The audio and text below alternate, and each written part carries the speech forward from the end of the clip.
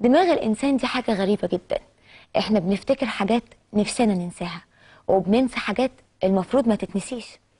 كل سنة ومع أول نسمات الصيف دايما بفتكر سنين من حياتي.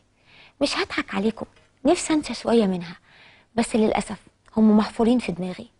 نفسي مثلا أنسى القلق والخوف والتوتر. إحساسي بأن مستقبلي مش مضمون.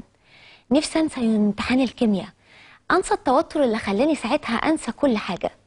لو رجعت بالزمن كنت أكيد هنصح نفسي إن الحياة مش مستاهلة وإن الثانوية العامة مش هي مقياس نجاحك أو فشلك. كنت هقول لنفسي وأنا مقهورة على المجموع اللي ما طلعش زي ما أنا عايزة.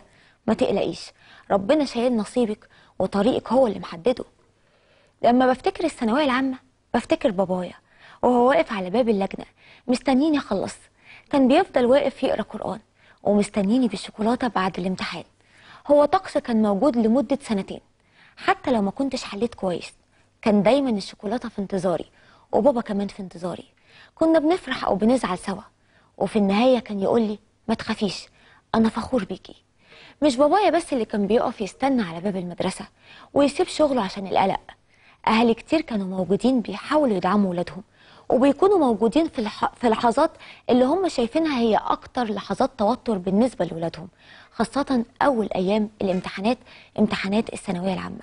كانوا الأهالي بيبقوا موجودين عشان يدعموا ولادهم ويحاولوا يقفوا ويقولوا لهم إن دي لحظة وهتعدي وإحنا موجودين بره عشان نطمنكم.